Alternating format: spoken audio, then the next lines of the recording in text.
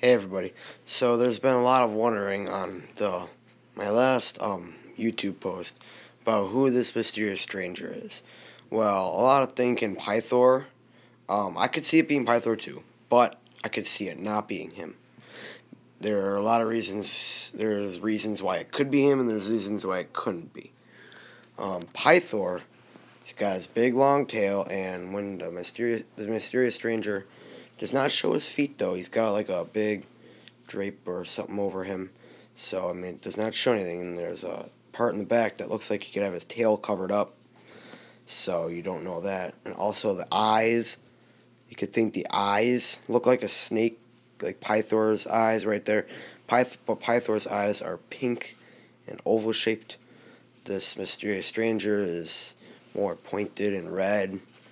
So I mean, I don't know. And Pythor also has this long neck. So, I mean, maybe that could, like, curve up in the hood. But I think Pythor will be returning in episode 30. When it said the ninja will be running into um, an enemy underground, and the enemy assists them.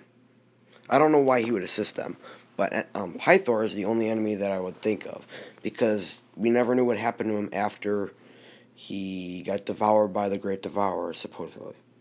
Um, we know Sensei came out of the Great Devourer, but what about Pythor? So, I mean, maybe maybe Pythor ain't coming back at all. We don't know, but Pythor is the big thought here.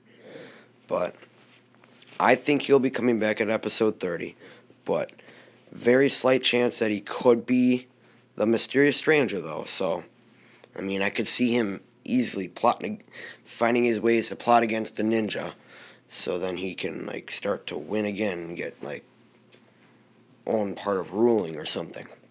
But I could see Pythor doing that, but we really don't know yet until we see it. So, do you think Pythor will be returning?